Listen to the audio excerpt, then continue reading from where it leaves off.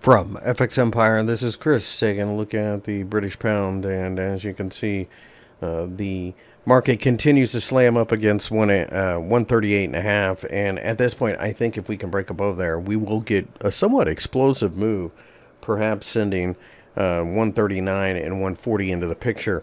I do anticipate eventually that's what's going to happen. But if we were to break 137, that could be negative all things being equal, it certainly looks like we are fighting our way to the upside. Um, Bank of England raising rates by the end of the year certainly helps as well.